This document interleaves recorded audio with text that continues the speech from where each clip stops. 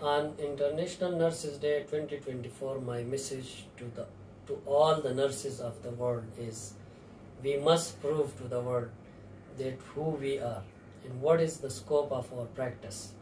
We are the backbone of the healthcare system uh, of any country. And we are not just the caretaker of patient, but we are beyond that.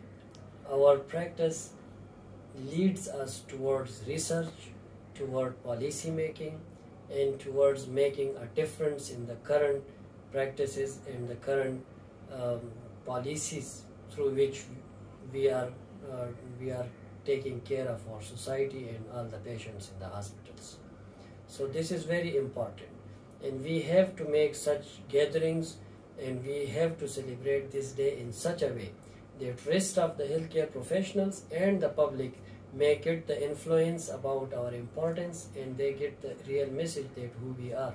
We are the backbone of the healthcare system.